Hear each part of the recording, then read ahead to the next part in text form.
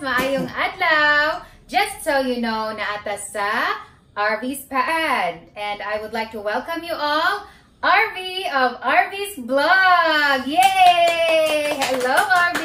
Hello everyone! Uh, hi sa mga viewers sa Make TV. This is Roland.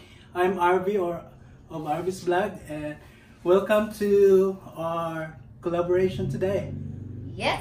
And RV, ready na ba ta? Yeah. Okay. So there you go mga adas. Um, we have prepared something para inyuha nga something inyuhang tan-awon karon. Uh, mo nang nami karon diri sa kang na RV's pad. It's because mag cooking demo me. Yeah. Okay? So diha lang mo and just enjoy watching.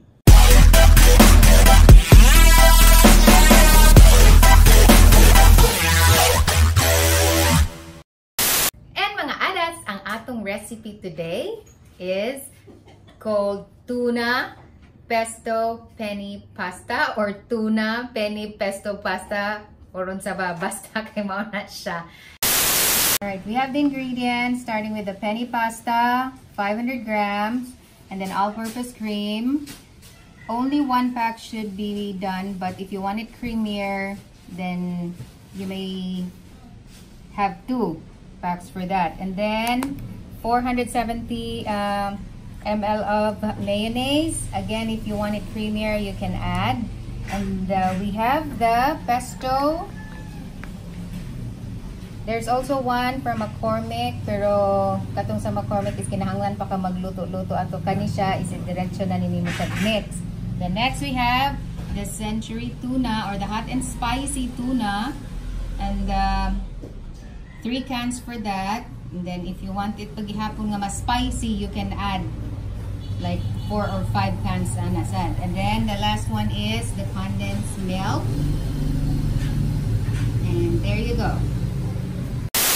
And to start with, ang ato ang penny nga pasta, um, which is uh, gi-boil ni siya for 10 minutes and as much as possible do not overcook. Same rin na siya kung magluto mo spaghetti pasta kanang sa spaghetti na do not overcook. So, mo ni siya. Ato ni siyang i-transfer sa dako nga butanganan. And then human. Let's see here. Sorry, sorry. So, here. Butang na to siya sa dako. And ato ang i-mix ang ato ang pesto. Naani siya'y oil actually. Pero pwede nato siya i-lessen lang nato atong oil. Kuhaan nato siya gamay. And then so here you go. I-mix na nako siya. Kay actually kani ang oil ani niya is olive oil man siya. So no worries lang ana mga mga adas. Okay, so mo ni siya nga pesto ang ato ang uh, gi-prepare. Naa sa lain which is from McCormick, pero ang katong sa McCormick is naa lang to siya kinahanglan pa to nimo siya i-boil. Basta naa siya instruction sa likod kung unsaon kani. Um, and it cost cheaper actually ang McCormick kani siya medyo kuan siya lang. Medyo mahal-mahal gamay pero carry ra gihapon. Itilok kay sayang. okay. So, here you go. So, i-mix na to ni siya og tarong. Hangtod gani siya nga maabot gani siya sa ilawom. Ha? So, here you go, mga adas.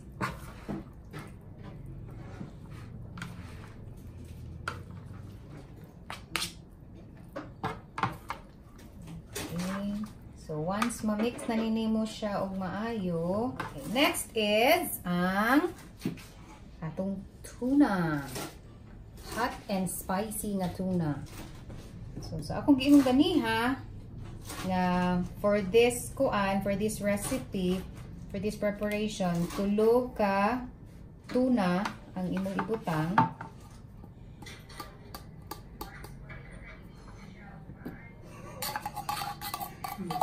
And here, pa ta? Next, we have this.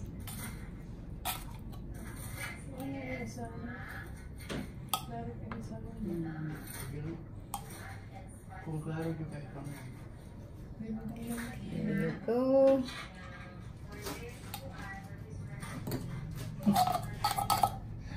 Okay, so here, nanatanan ang tuna. So, ato na sang buhaton is, i-mix na sad nato. Actually, mga adas, naasay other way ani unsaon pagkuan.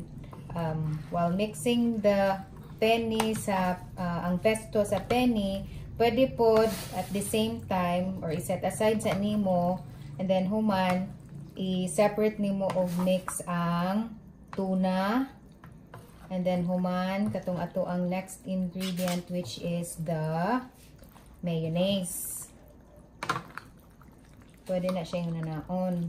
Kaya ang importante na niya is ma-mix siya tarong kay para even ang iyang taste. So here.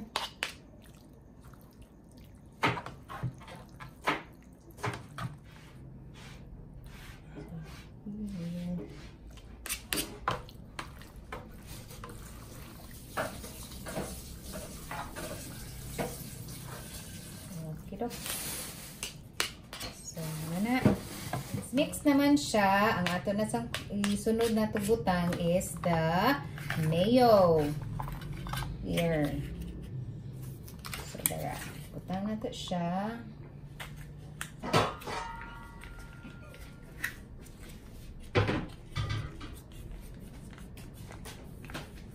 Ano mo yun? What's going on?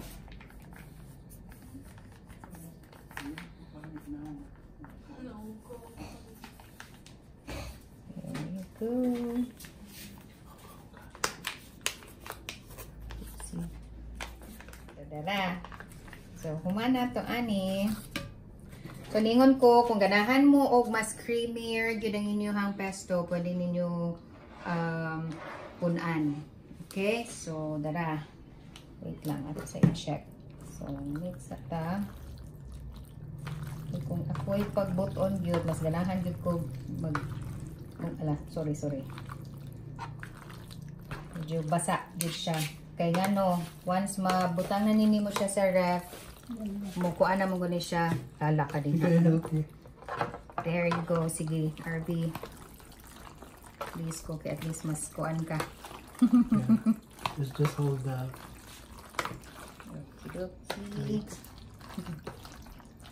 Mm.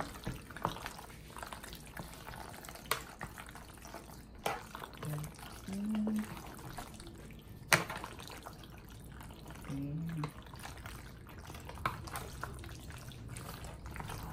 How many kind of tunas do you put in here? Actually, I placed um, four. Supposedly three ra gyud na siya for for this preparation. Pero since kung ganahan jud ka nga ma-taste gyud nimo ang tuna, so mo to nga giupat na ko. Add some.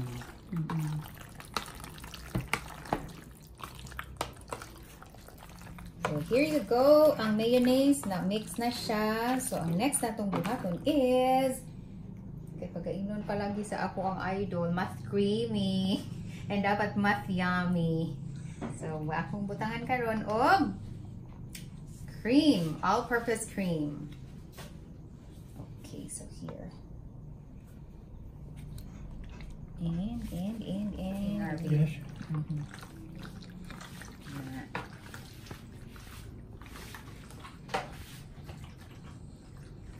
You, you do the one.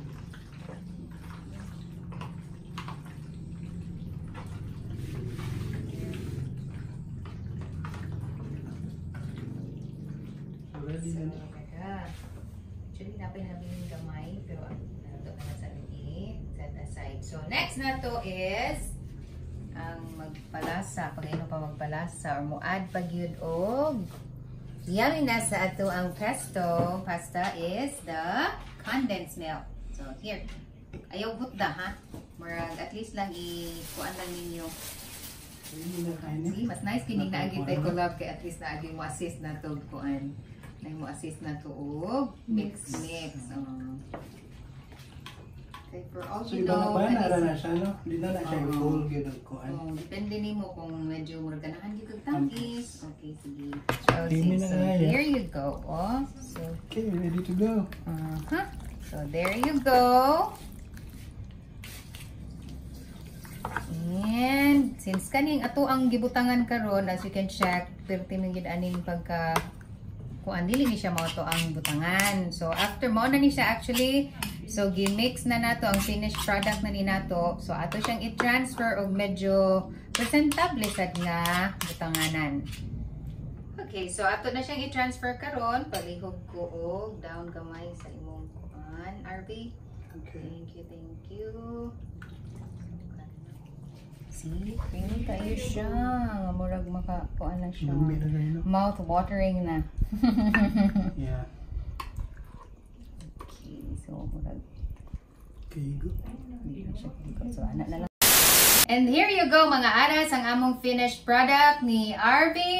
Please do visit of course his YouTube channel and that is Arvis Blog, uh, link in the description below. Yes. And to all travelers out there, please visit my website at www.arvisblog.com. Thank you. yes, there you go mga adas.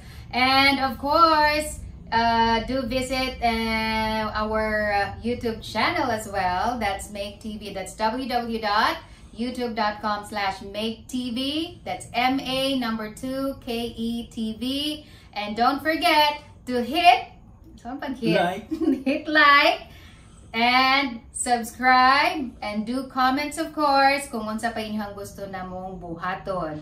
And uh, mga adas and RV, thank you so much sa imuhang time and of course sa imuhang pad. And mga adas, thank you so much for watching Make TV! Bye! Bye! didn't even get to run.